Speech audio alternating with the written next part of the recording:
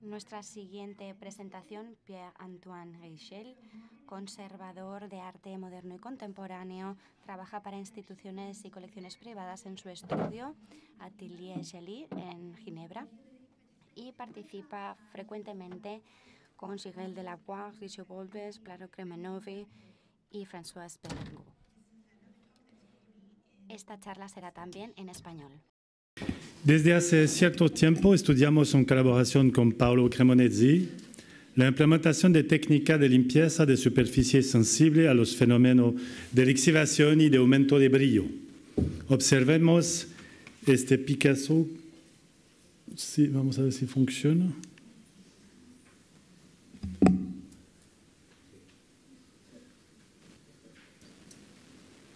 Ya funciona. Observemos este Picasso de los años 60 de los cuales le presentó una visita guiada en el material pictórico de la obra gracias a la tecnología 3D de Artmin. Podemos ver, eh, este Picasso fue comprado a un subasta por 30.000 personas, es un poco particular. 30.000 personas tienen una parte de este Picasso. Podemos ver que Picasso utilizaba a la vez una laca de tipo Ripollin y una pintura al óleo de, u otras mezclas en capa superpuesta o simultánea y esto con un soporte relativamente absorbente e inusual, un tablero pintado de marrón mat recuperado de un mueble. Picasso deja que su pintura espesa flúe sobre el, tablero y doma con maestría la viscosidad con el mango de su pincel. Podemos observar en estos volúmenes de empaste los arrugos y todo esto. Voy a hacer con el dedo porque no funciona. Nuestra observación de numerosas obras de Picasso nos llevan a algunas ocasiones a encontrarnos con superficies que nunca han sido limpiadas antes, ni siquiera superficialmente, y en la que el aspecto aterciopelado y diverso de la pintura aún está completamente intacto. Por ejemplo, este aspecto aterciopelado como un efecto de pruina que aparece con frecuencia en sus obras de los años 50-70. No estamos hablando de una eflorescencia o de una cristalización superficial que perturba, sino de un estado de superficie intacto. Este aspecto de pruina tiende a que se realice una limpieza que da lugar a fenómenos de aumento de brillo y a eliminar esta apariencia de origen que tiene un valor histórico.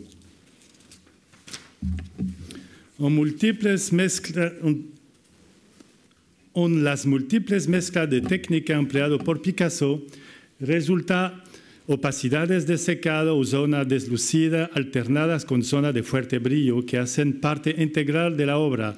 De hecho, estas características son particularmente sensibles a uniformarse a un lisado de la superficie. Es factible que ciertos fenómenos de pruina en la superficie de varias obras de Picasso estén relacionados con la sinéresis de la película de pintura durante el secado, que juega un papel importante por la planicie y la templeza de la superficie, aportando cualidades técnicas al nivel de su forma óptica de brillo o de mate. Este fenómeno se constata en pintura lacada de tipo Ripollin o, por ejemplo, en los aceites polimerizados de tipo Standard Oil y frecuentemente con las adiciones de cera. Este efecto no es sistemático en su producción, depende de la mezcla osada de Picasso y también de las fórmulas que varían según las épocas y las marcas de fábricas. Un ejemplo de estos cambios técnicos es el gris perla oscuro número 10 de Ripollin, donde la misma referencia cambia de aspecto y de tonalidad. Aquí podemos ver un análisis hiperspectral son realmente bien distintos. Cuando este fenómeno de cineresis se produce, parece relativamente rápido y en consecuencia contemporáneo a la creación, lo que hace de él una parte integral de la obra. Podemos ver aquí una descripción muy clara de este efecto de pruina en pintura laqueada en la enciclopedia de primer de Gauche. A fin de determinar el impacto de los cambios visuales que pueden resultar de una limpieza incorrecta, hemos comparado estos tipos de acabado de pintura con la famosa pruina que recubre ciertas frutas y plantas desde un punto de vista óptica. Esta pruina aumenta la reflexión y la difusión. Cuando se eliminan estos efectos de disfracción, modificamos el efecto de percepción colorimétrica, induciendo un cambio de reflexión y de luminancia que produce alteración cromática.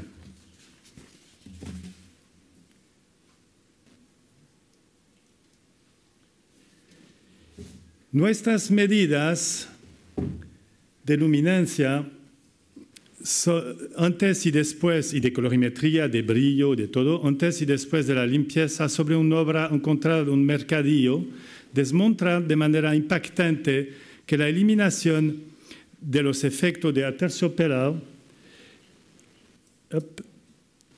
eh, es similar a una forma de pruina, modifica drásticamente el aspecto de la obra. Podemos ver aquí, voy a ver si la flecha funciona. Sí. Aquí es la parte limpiada donde el, efecto de el efecto de pruina está quitado y realmente es muy, muy visible. Cuando nos acercamos vemos que en los huecos todavía queda de esta pruina, pero el efecto general es un cambio importante del aspecto.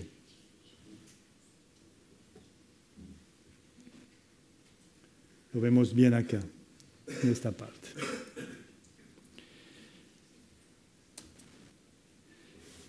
En el marco de la intervención de limpieza superficial, nos encontramos con suciedad más o menos grasosa, depositada en superficie pictórica relativamente heterogéneas y podemos estar confrontados a una materia mate y pobre en ligante, especialmente hidrófila, o superficie prácticamente hidrofoba, mimetizando la, hoja de flor de loto. Observamos aquí la estructura tan particular del loto con sus picos de talla micrométrica recubierto de un tapiz de vello nanométrico encerado.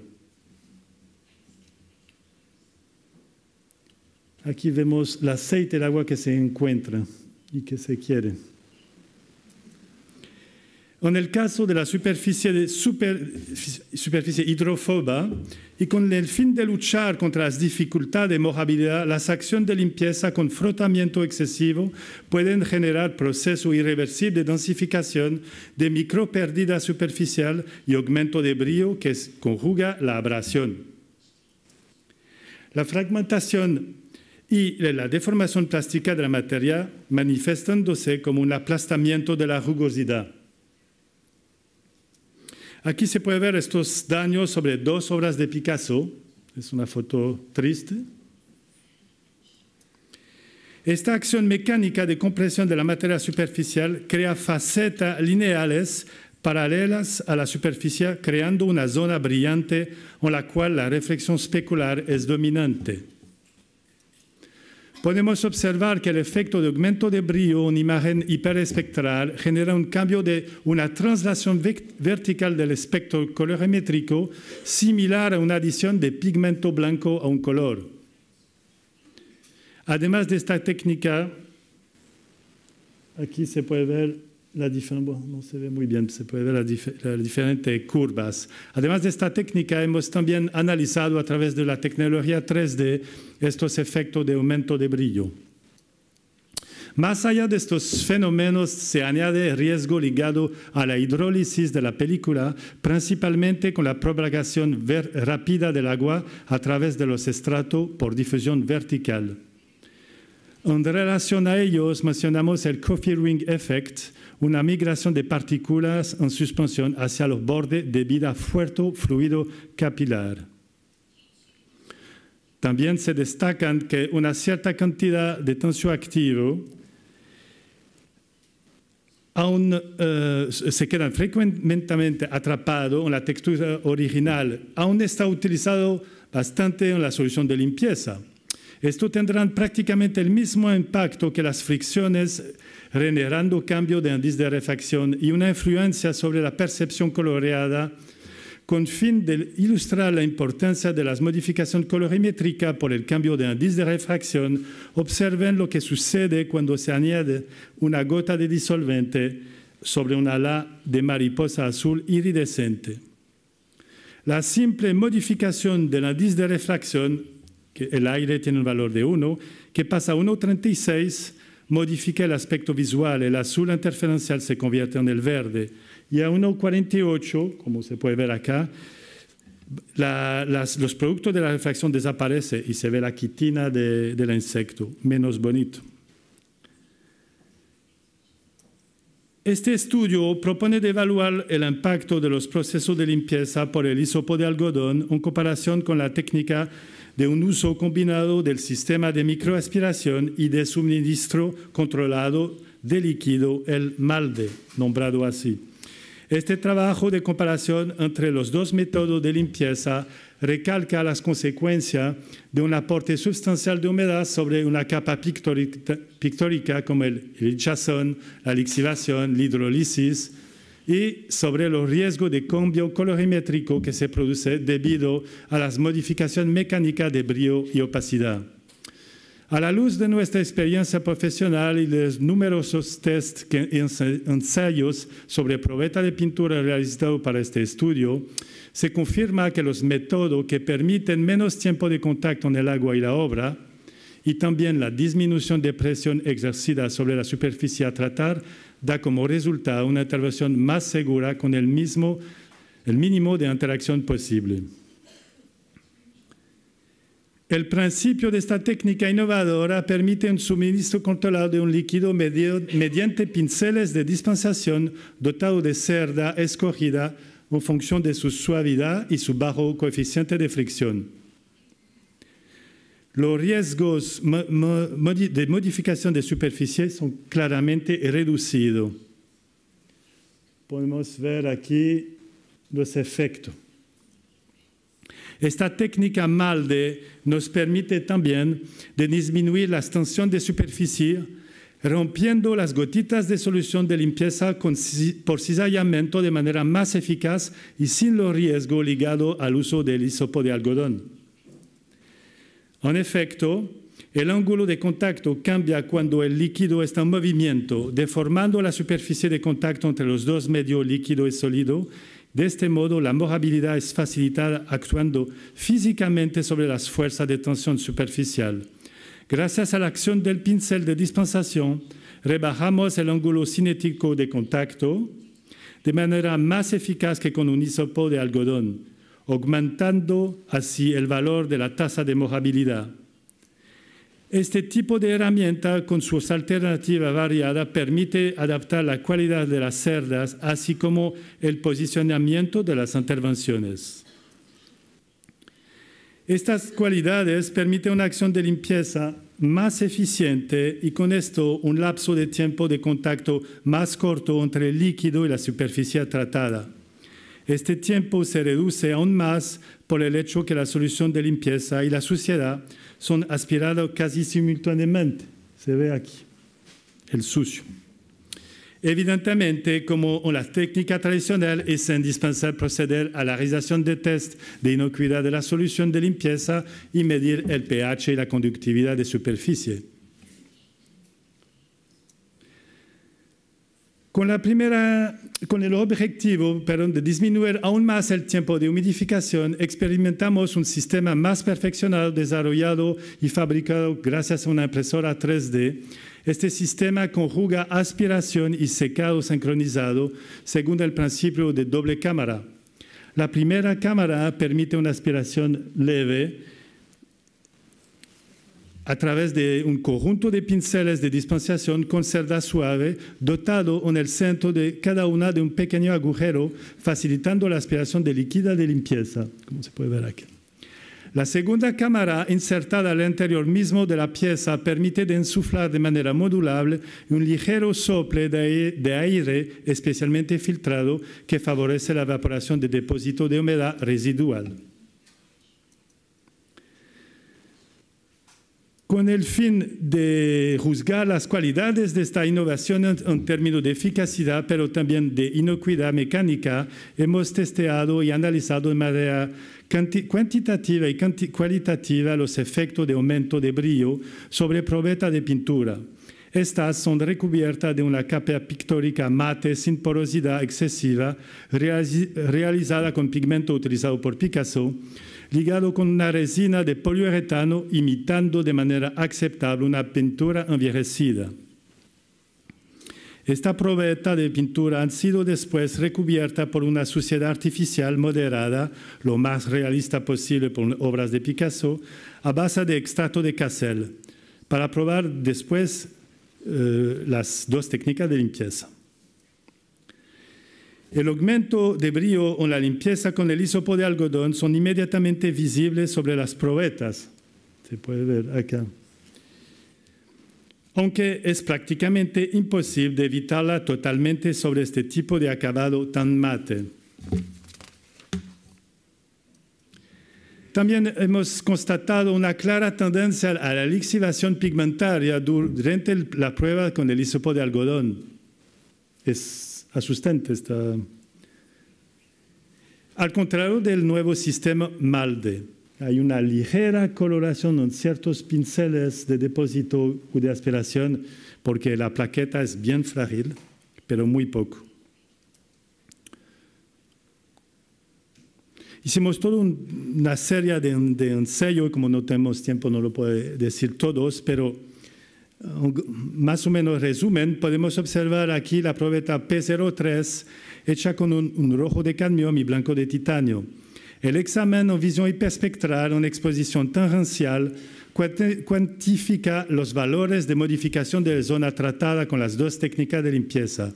Observamos una animación de la variación de la curva espectral con las dos técnicas. Aquí vemos el examen a diversas longitudes de luz monocromática, las cuales nos permite una mejor percepción de la zona de aumento de brillo, claramente más importante con el hisopo de algodón. Pueden ver aquí es el algodón, abajo es la técnica MALDE.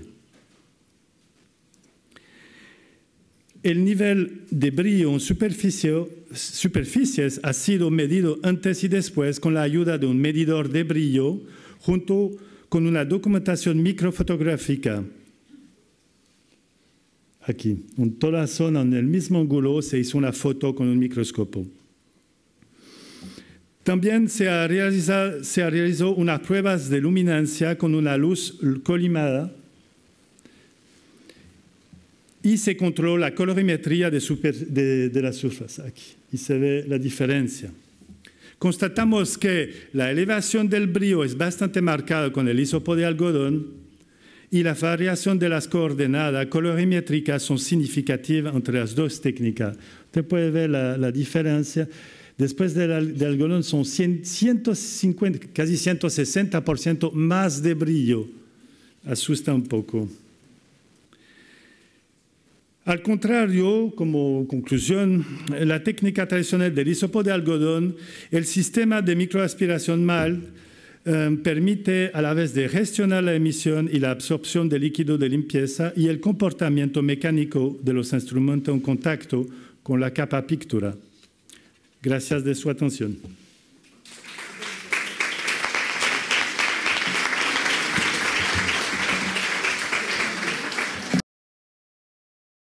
Fantástico, muchísimas gracias.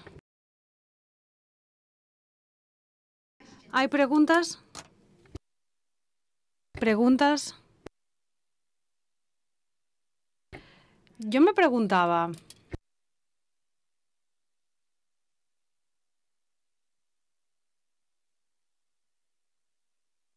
me preguntaba cómo el sistema de microaspiración difiere de otros eh, sistemas similares empleados en el pasado.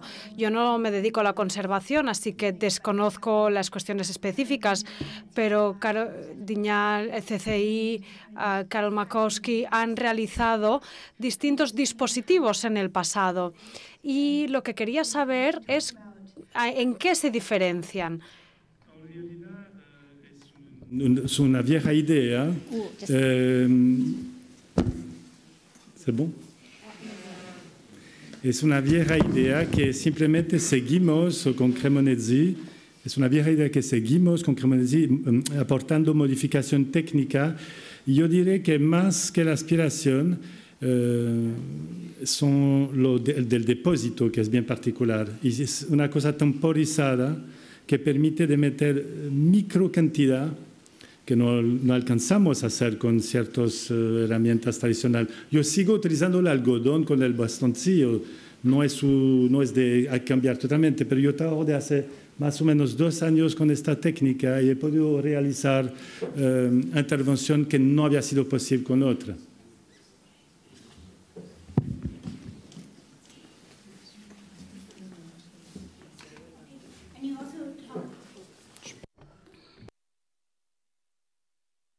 También has hablado de la impresión 3D.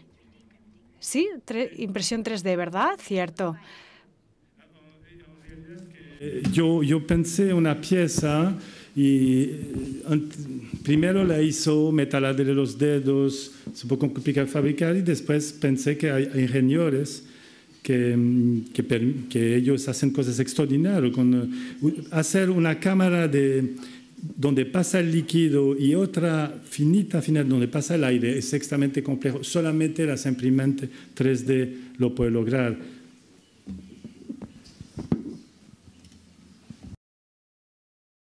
Muchísimas gracias.